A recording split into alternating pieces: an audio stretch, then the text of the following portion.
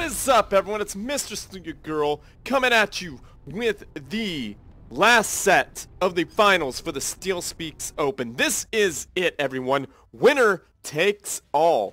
It is a best of three. The first game is on the Open Palms, the iconic Open Palms that has... This is its first appearance in the tournament, guys. And speaking of icons, we got two of the best players of SupCom 2 history. Let's see who they are. To the south, we got the one, the only Polar Bears spawning in as the orange Cybran Commander, dropping down Eco, all the things. He went build cost build time, which is not a bad idea. And his opponent, Nuclear Pizza spawning in as the blue Aeon Commander, dropping down an air factory with his engineers echoing all day long. And usually Nuclear Pizza's brown. Maybe I'm losing my mind here or something. I'm, I'm used to him being brown, but he is blue. So, as you can see, we got Polar Bears queuing up quite the Eco. He's got quite a plan for Eco there, everybody. He is really going for it as he puts down an air factory, and he had an, a land factory queued up, but he thought, maybe I should put down this radar gathering installation first because maybe my opponent is going to be attacking me. And Polar Bears upgrades that radar, so he sees pretty much everything. He knows that his opponent has gone air. So Polar Bears has probably a pretty decent um, advantage right now with the build cost build time. It's only a matter of time. Now that he drops down a research station, that is really going to make it very difficult for Nuclear Pizza to bring a victory in 30 minutes or less. And we got uh, a second air factory. I don't know if I agree with that, but Nuclear Pizza is echoing all day long, and I think that's how they are going to play this match because both players are doing essentially the same thing. Uh, maybe they have a gentleman's agreement. Don't do anything until about 10 minutes in. I don't know. But there is a radar station there for the pizza, and he could see quite a bit because that is really far up. But it's Aeon radar, so only really probably sees about here at best. He sees a lot of these loyalists. That is going to be really, really annoying to deal with, considering that all Pizza has are... All he has is air. All Polar Bears has to do is spread these guys apart and the bombing run will be completely unaffected. Uh, ineffective, excuse me. And it appears that Nuclear Pizza sees all that he can see and he is bringing in his really, really nasty looking Air Force. He's going to bomb everything he can. He's bringing that pain in 30 minutes or less trying to make nuclear uh, polar bears an endangered species. And polar bears really got a great opener on that engagement, but the numbers just are not in his favor. Favor as polar bears researches the adapters. That one, those two, that one, two research stations are really, really going to do him some favors here. And a third air factory for Nuclear Pizza. Nuclear Pizza has to be really, really careful about putting all his eggs in that one basket because they are now adapters on the field, which take out practically everything as Nuclear Pizza proves me somewhat wrong, taking out that one metal extractor that has to hurt that eco just a tiny bit. But again, these adapters do so, so much damage to air units, and they are completely, in, completely deadly. It appears Polar Bears shut down that air factory, and oh, a really nice bombing run there for Nuclear Pizza, taking out three Loyalists in one pass. That's really, really painful for the Polar Bears. He really, really can't afford to lose a lot of units. And another land factory going down for the Polar Bears. He's really committing to this land game. And that is an excellent counter there for the pizza, putting down a land factory and redundant um, radars, which isn't a bad idea considering this one is right here isn't a bad... Oh, he took it out, so not so redundant. A good idea because it denies his opponent research points, which he has already got two research stations. Of kind, of, I think that might have been a misclick. Um, flying right over all those loyalists as that air tower goes down. I think po Pizza, I mean, Polar Bears is doing something very, very, very crazy there, but not so crazy because he's got a lot of those, those um, adapters, and they're really, really going to help protect this point defense push, which is almost really, really pointless against uh, Aeon because Aeon have such great um, range on their point defense. A two-point defense versus one, that's just not going to really do it there.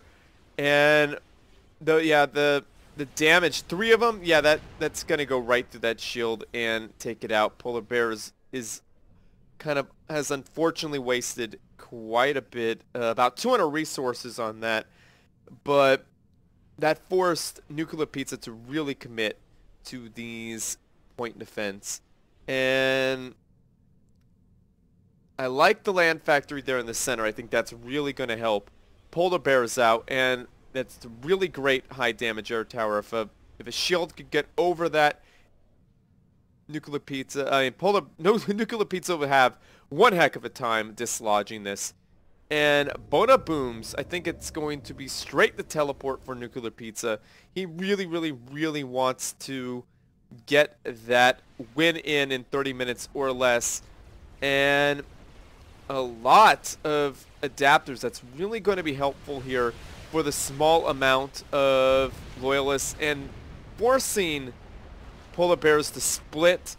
Polar Bears is in some trouble here, it appears right now, but a lot of Air Force goes down in that pass. That's got to be really, really painful. Another high damage air tower right in a really good spot so this air tower could just blast air units from a distance. I like that. That's very, very nice. And two air towers going down, and I think Polar Bears sees the air units as the biggest threat right now. And these this engineer is doing absolutely nope he's actually helping. I'm sorry there polar bears. Of course you would know better. And cobras being so so annoying here at the frontier. And they're just shooting those rockets right into really nothing right now because nuclear pizza is microing his units around. If polar bears could get a couple of volleys off maybe if he moved it over to the side right here the Cobras alone, that would be a really great thing, especially have them split, forcing the Air Force to go over, taking lots of damage from these high damage air towers. But who knows what is going to happen here. And a research station there for the pizza, that is going to be so helpful in catching up to polar bears. Polar bears really, really needs to start saturating the mass here because Nuclear Pizza has gotten quite ahead of him. I think he has at least four or five mass points ahead of him, maybe even more than that. I am not sure. I can't really spend, take the time to count. But Polar Bears is kind of... Oh, I like the shield. I don't... That is kind of crazy right there, but it could really, really, really help. And like I said, there's the teleport. Polar Bears is going to have one heck of a time dealing with this. Um, and in come the tanks to just wreck shop. But Polar Bears is doing a really, really good job. He took out that Air Force. That Air Force is down. There is no air in the sky to think of for for Nuclear Pizza. He has only, okay, he has one air unit and one factory goes down as Pizza is pushing in a small group of land units. That is, I, I just need to keep zoomed out here. I want to, I want to, want to see right here as the loyalist spam, and I mean the Brackman spam is taking down so, so many buildings. It's so nasty. And it appears all that was lost in this engagement here, this little incursion, was a mass point. That is quite a good trade there for the Polar Bears. The Polar Bears is again trying with a point defense push, which I don't. There's not enough loyalists there to really. oh, nice unit detonate there by the Polar Bears. The Polar Bears has really, really turned the tide of battle here and is pushing into Nuclear Pizza's territory. The Cybran point defense push, which is such a nasty, nasty thing to do. Pizza is getting surrounded here. He is, boom, going down. Nice job there, Polar Bears. For a second there, I thought Pizza had this in 30 minutes or less. You are certainly not an endangered species at all, as the um, administration whoever does that, the National Wildlife Administration, who are saying who is a endangered species and who is not, because you are definitely not on that endangered species list. And look at you building a research station right in front of Nuclear Pizza's base. That is so freaking rude. And well done there. That Polar Bears is up one game. So I am going to shut this out and I am going to do what I did the last time. So guys, hang with me as this loads. I got a pretty fast PC, so it is going to come right up. So welcome back to the second match. And I believe this one is Desolatia, if I remember correctly. It is a very, very small map. And I like it because who knows what the players are going to do. It's going to be quite interesting because, like I said, it's a small map and the players will be at each other's throat almost immediately. So let's see Polar Bears spawning in as the orange UEF commander brushing two land factories as fast as he can and ecoing with his commander. No, no, no. He split. He had an engineer build quickly and then had his commander finish it. That is the way to do it, guys. And Nuclear Pizza, I think, is doing something similar, dropping down two land factories. He is the blue UEF commander. Let's see him walking around, putting down eco with that commander. He is trying to get in the center as soon as he can. Polar Bear is opting to put down a radar. He wants to see more of what is going on as his engineers are ecoing up. That is awesome. And putting down a meteor, a couple meteors. I don't know if I agree with that play because Polar Bears does not know what's out there. But you know what? He's one of the top players, so who am I to question anything these guys do? And a third land factory going down already down for the pizza as he is spamming out these rockhead tanks. Some energy going down there for the polar bears as, as he is going to make sure these engineers are put hard at work at assisting those land factories. Nuclear Pizza researching range, which is a much, much needed thing as it is they are kiting polar bears. Polar bears putting down a heavy point defense, taking some damage as some of those meteors trickle down a little bit of damage on those meteors. Polar bears protecting that point defense as Nuclear Pizza's coming in. I don't know what Polar Bears is going to do. He's already down in the yellow with 15,000 hit points as Nuclear Pizza has his full 20,000 Polar Bears is walking away as his... Nope, Nuclear Pizza decided not to capture that. He's trying to go in for the kill for Polar Bear. No, he's backing off of Polar Bears. Polar Bears. Oh, nice job, Polar Bears. See what I mean by, um, what do I know? He is putting the hurt on Polar Bears starting factories and starting mass points. Could he take down that factory? There is no way. Boom! Down goes a factory and a mass point. How absolutely annoying is that? Polar Bears is now ahead on the mass game, it appears. Well, maybe, maybe not. No, he is ahead on the mass game because he took down that one mass extractor and he evened out the, what would you call that? The factory count. So it appears that, wow, my voice just um, had a little issue there, so I apologize for that. Uh, wow, he is now ahead on the Land Factory game. Excuse me, I am going to drink some water because that is really nasty. Forgive me if you had to hear that. It had to happen here in the finals.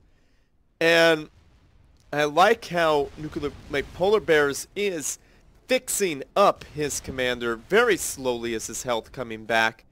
And we have demolishers on the field for Nuclear Pizza. Nuclear Pizza evening back out that mass game as he is waiting to rebuild that land factory right on that wreck, which is the wise thing to do. Polar Bears opting not to expand right now. Polar Bears is getting the peace shields. I like that play. That could be very, very, very useful indeed. But against demolishers, that could be very hard to deal with. And Nuclear Pizza splitting off his forces. He's got five of them going north and the rest of his units harassing this forward land factory. That engineer really needs to move. That's a good... Now, that's exactly what you want to do. Get it under the shield and help that commander out. And I like this, that land factory evens out the playing field there for Nuclear Pizza as both of his engineers are really, really working on that those land factories. And Polar Bear's doing the wise thing and Control Kane saying, no, you are not getting free research points from me at all. And Polar Bears be, I mean, doing a really good job at defending against these Demolishers. Demolishers are so good. Nuclear Pizza just poking in and out of those shields, just trying to weaken them just a little bit to do some actual damage when he is able to. Nuclear Pizza getting training one on his units, making them very, very, very strong. And he's getting some mobile missile launchers that are going to be very useful against the peace shields as well as being very useful at harassing this land factor. Hope, hopefully for him, forcing a mistake from his opponent. And a fourth land factory coming down for the pizza. Another friend. There's my voice having a little bit of an issue. Another franchise there for the pizza guy as Nuclear Pizza's demolishers are just utterly annihilating the P-Shield's shields.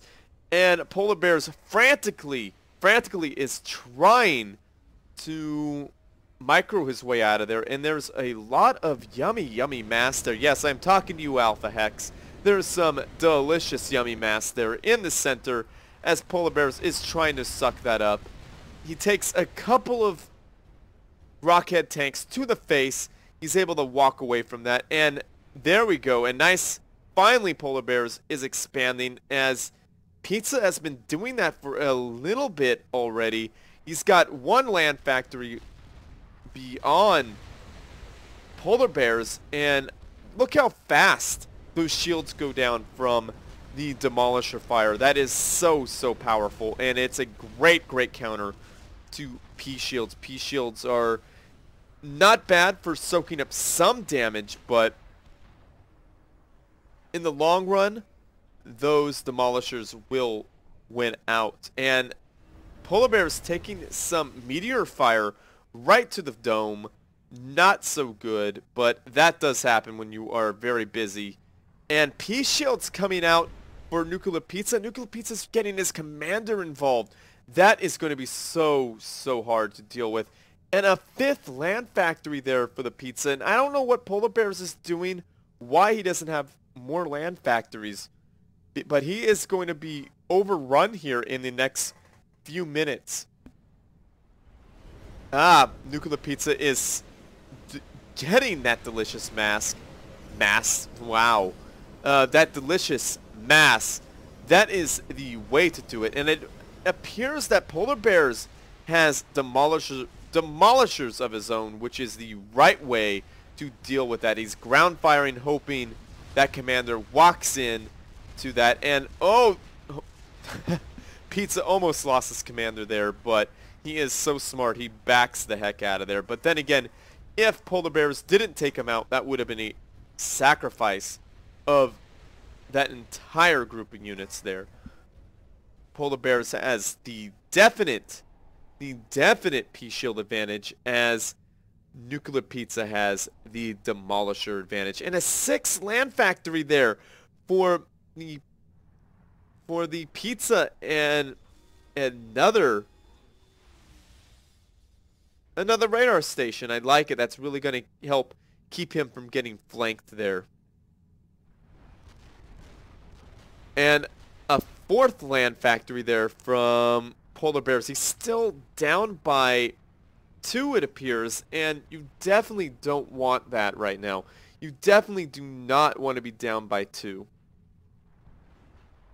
You always want to match your opponent factory by factory, and he's slowly catching up, getting down a fifth land factory, but Nuclear Pizza has put down all of his mass points, and Polar Bears is down by one, two, three, four.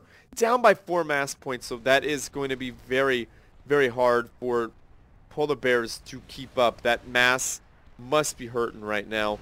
And any mistake from either players right now would cause the game to be pretty much over as a large amount of Rockhead tanks reinforce the pizza's front and that is going to do some work to all of those P-shields and it appears Pizza is just going in there for the kill. He's got that training one as and I don't think um, Polar Bears has any training. No, he does not. Training two he is just going to go in there and wipe them out as he's dropping down his 7th factory. All those units are just being mulched, and Polar Bear is doing the death march. Walking in bravely. Boom! Down he goes, getting destroyed. Death by demolishers and rockhead tanks. Very well done there, Polar Bears and Pizza. That was an awesome job there, Nuclear Pizza, getting those units into the back of his opponent's base. Pizza really, really had it rough there in the beginning because Polar Bears went around... Um, no, he, he put those meteors right in his face, took down a factory, and a mass point that really had to hurt in the beginning. And Pizza took his units around the side and did some work to a mass point. So that was a really nice back and forth match. Uh, 16 minutes gone on that one, and Nuclear Pizza definitely brought that victory in 30 minutes or less. So Polar Bears is now an endangered species as it is now 1 for 1. This is the final match of the Steal Speaks Open. So it is for all of the eggs in that basket, all of the marbles, all winner is going to take all. Let's just say that, guys. I think the next map is QAI Labs, or yes, I believe it's QAI Labs. And the Icons have returned to battle as Polar Bears is doing the same tactic, rushing two land factories, one with his commander and another with an engineer, which I'm sure he's going to switch it out as one engineer is ecoing up he is the, excuse me, he is the orange UEF commander. I'm sorry I forgot to introduce what he is because I am super excited. Maybe I did introduce and I'm losing my mind. And Nuclear Pizza is the blue Aeon commander. starting off with a research station, that is quite a risky move. And a land factory as his as his engineers are echoing all the things. That is going to be quite something. I would definitely have thought to have gone air on this one because it, it's got such a long rush distance. And if you are way ahead on the air front, you could drop off engineers to get these extra mass points. That's three extra mass points. And if you get behind your enemy's base and maybe even put down a tactical missile launcher, just be so freaking rude, you could do some major, major, major damage. But he'd probably see that. But if you could get it back there without him knowing, um, holding holding fire on one and getting two or three and just being so rude, that would really do so much damage and your opponent could not respond to that in time. But that's very rare that you'll have the opportunity to do that because your opponent will probably have some sort of air force and he'll probably accidentally scout it. And this is such a nice landscape if you could see how deep those chasms really are. Let me see. You can't really see too much of it from that camera point. Yeah, I know I'm going off on some sort of tangent, but this is the eco phase. Not a lot happens there. Now, let's see what Pizza has. He has three land factories and a research station. Is that legit? Because, wow, that's quite a bit for three minutes in. And Polar Bears has only two land factories, and he's ecoing all the things. He went straight to P-Shields, which is which is the right thing to research against Aeon. Well, maybe it is legit because he didn't go straight for the mass extractors. He's got to wait for that one as as Polar Bears has dropped down those two mass points pretty much immediately. So maybe that is exactly what happened. I'm not trying to accuse anyone of cheating. It's just like, wow, you've got all that stuff already.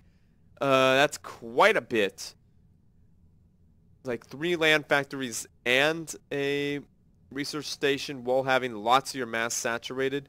Then again, you know, after this patch, that is very well plausible uh, of happening. And Nuclear Pizza's getting build time from all the units, and he's pushing in there, trying to poke at the endangered species, trying to put that endangered species list into the eradicated list in 30 minutes or less because, you know, Nuclear Pizza has opened up three franchises in the area and a corporate office right here with that research station research station so he's investing quite a bit on these in these mass extractors. Or he invested actually in these what would you call that? In these franchises. And polar bears is trying to put down some wildlife reserves. Here he's got three of them right there. He has his units clashing against his opponents there. And it appears that I think Nuclear Pizza has some training on his units. Yes, he definitely has. No, he doesn't. He has the Boda Booms, which is adding lots of health to his units. I think that Boda Boom went down. Or did it? Where is there a Boda Boom? No, man, he's got training. He's got training. I thought a Boda Boom was there. But Pizza, I mean, Polar Bear's bringing his commander into the mix whittling down lots of those units. That those P-Shields take quite a beating. Polar Bear's masterfully controlling his units and his commander as Nuclear Pizza is getting extremely aggressive, trying to go in for the kill against the Polar Bears. The Polar Bears backing up, feeling endangered by this conglomerate here of pizza, this radioactive pizza guy pushing polar bears back into his wildlife reserve. But he is actually not pushing back. His only his commander pushed back. He is continuing the push in, doing damage. And right here, Nuclear Pizza is in a terrible, terrible spot because those P-shields do so, so well against against everything that Aeon has. As you can see, there are no artillery to speak of from the Aeon race because they don't have them. So what Nuclear Pizza is going to want to do is either get a, a large, large amount of Yenzus, or he's going to want to get these sniper bots. Wow, Nuclear Pizza keeping that point defense alive somehow. And not one of Polar Bear's units are dying, but lots of Pizza's units are dying. This right here must be extremely frustrating here for the Pizza as units just keep pouring in, taking out the point defense, but Pizza is diligent on that point defense. Pizza is taking lots of damage. They're getting underneath the shield himself.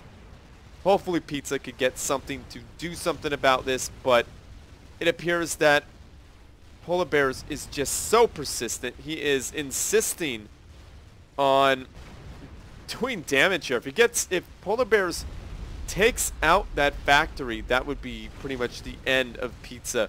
But the Pizza puts down two point defense, and he is running behind the factory as his health is well below halfway, but he's got training one on that commander. It appears Polarbearz is just being really annoying, and Nuclear Pizza went nuclear in 30 minutes or less. Down he goes. Well done there, Polarbearz. That was so obnoxious, but awesome job there, uh, Nuclear Pizza. You did great throughout the tournament. You came all the way from the loser's bracket. I hate calling it the loser's bracket, but you did it and you made it to the finals. You are going home with second place. Do not feel bad because you played definitely one of the best players in SupCom 2 history, and you yourself are one of the best players in Supreme Commander 2 history. And here he is, our grand champion, the one, the only Polarbearz. He is definitely showing the world that he is not an endangered species. He is going to repopulate the Earth with the amount of tournament wins he has accumulated over the years. And this is just one more. So congratulations there, Polarbearz. You did a great job. And thank you everyone who has played in this tournament and supported the Steal Speaks Open or my channel in general. So, Polarbearz, you are going home with the gold, so congratulations, and thank you so much for playing and doing this. So great job, everyone. Thank you. And I can't express my gratitude so much because you guys stuck behind this tournament since day one, and were very flexible with my schedule, and I was flexible with your schedule. So thank you so much for that. It, that is so cool. So Polarbearz, congratulations as being our grand champion. Everyone, like this video, subscribe to my channel, and share with your friends, family, and foes because they need something interesting to watch as well. And as always, everyone, GG.